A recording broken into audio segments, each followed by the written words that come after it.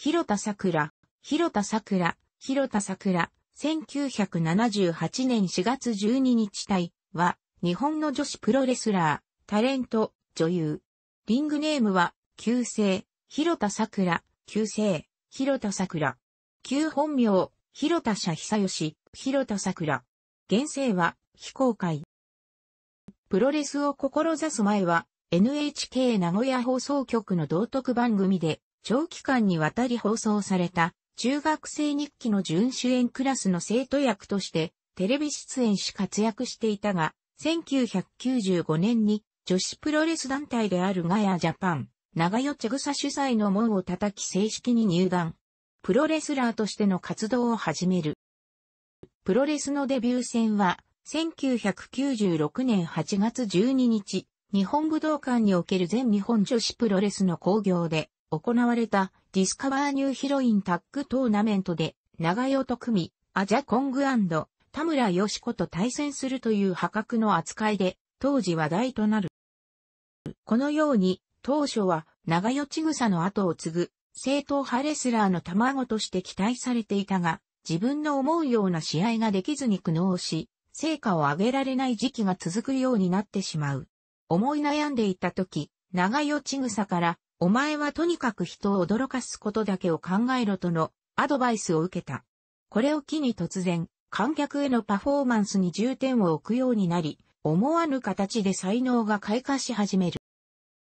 毎試合ごとに特徴のあるコスプレをしてリングに上がったり、実際の選手から実施用のコスチュームを借りてリングに上がったこともあったという自らデザインして作ったオリジナルのチャンオンベルトを巻いて堂々とリングに上がるなど奇抜で突拍子もない行動でプロレスの世界にエンターテインメントやバラエティの要素を絡ませたバラエティプロレスラーとして注目さ、人気を得るようになる。また、女子プロレス界では前例のない股間打ちレスラーとしても有名で、試合中トップロープから落下して、ロープに股間を打ったり、ローブローを食らったりと、実に様々な方法で股間を打っている。一方で、ヒールキャラ、ヒロターク寮に変身して、リングに上がった。長与とのコンビで、チームエキセントリックを結成し、非常に高い勝率を残している。カオル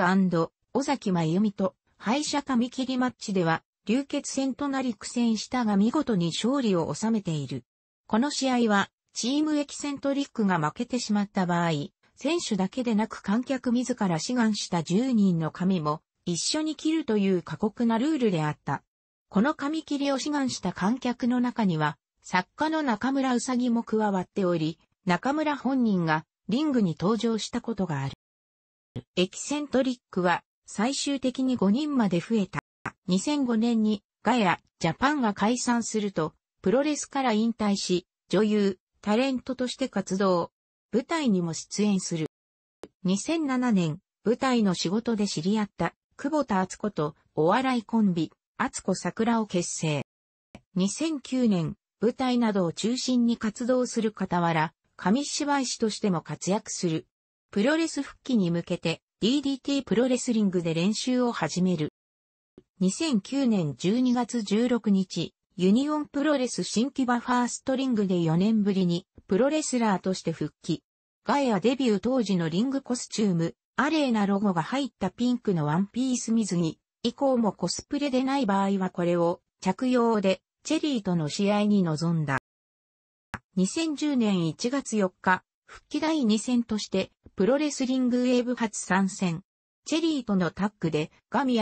コマンドボリショイ、闘牛・空、下田美馬とのコミカルタッグ3ウェイ、チェリーのアシストでガミからフォールを奪うが、闘牛、空とのダブルフォールだったため試合後にマイク合戦となり、ウェーブでは闘牛、空とのコミカル闘争を展開していくことになる。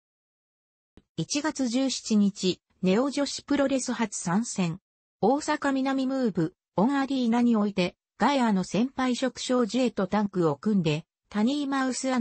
宮崎優日組、ネオマシンガンズと対戦。上松にローアングル上松等を指示するが、最後は恥ずかしがためで、ギブアップ負け。3月20日、ウェーブ、大阪大会で、和は世界シングル王座の赤いベルトを模した段ボールでできたベルトを持ち込み、3WA 初代王者決定戦と称して赤いベルトを巻いた経験のある堀田優子と対戦。ピラミッドドライバーからエビ固めに持ち込まれ敗戦。6月20日のウェーブ新木場大会でコスプレを解禁した JWP 女子プロレスの新人、黒木千里相手であることにちなみ、黒木の先輩にあたるコマンドボリショイに扮したが、変形股先を決められギブアップ負け。2010年のキングオブコントに、チャンバラジュニアの駿河幸太郎らと組んだ3人組、立ち組で出場。2010年10月、ガヤの先輩、里村芽子が主催する仙台ガールズプロレスリングの入団を希望し、トライアウトに出場している。2010年12月5日、同場大会で JWP 初参戦。この時期から通常コスチュームをリニューアルさせている。2011年、黒木と組んで JWP タックリーグザベスト2011にエントリー。2012年7月16日、ウェーブ後楽園大会にて結婚を発表し、合わせてリングネームを旧姓、広田桜に改名した。以来、ウェーブを主戦場として様々な団体に参戦している。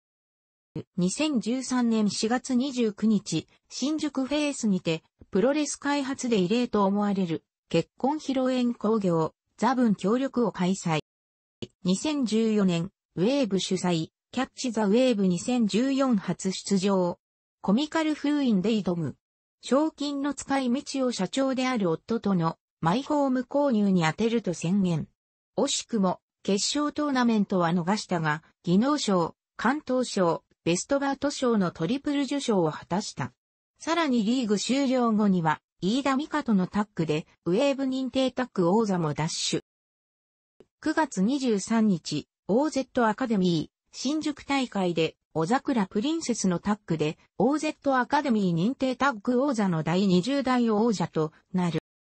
11月22日、新木場ファーストリングで、いい夫婦の日にちなんだ自主工業を開催。12月をもって、不妊治療による産休のため活動休止。12月12日の産休工業で、高橋七栄戦を行い OZ アカデミー、戦女、ウェーブでもラストマッチを行う。2016年4月2日、ウェーブ新木場大会、8時だよ。全員集合。桜作3.7にて、旧姓、広田桜プレゼンツ俺たちを開催。下野沢子チェリー VS、飯田美香志田光による試合をプロデュースし4人全員を、ひょうきん族のコスプレにした。10月10日、ウェーブ後楽園、ホール大会で妊娠したことを発表。2017年3月22日双子、男女が誕生。6月4日、ウェーブ後楽園大会に来場し、8月12日、大田区総合体育館大会で復帰すると発表。8月12日ウェーブ、大田区総合体育館大会で約3年ぶりにプロレスラーとして再復帰する。10月27日、新木場にて出産記念工業を開催し、成功を収めた。中学生日記 NHK 名古屋放送局。2012年に入籍はしたものの披露宴は行っていなかった。今回、ファンへの恩返しとしての自主工業を行った。楽しくご覧になりましたら、購読と良いです。クリックしてください。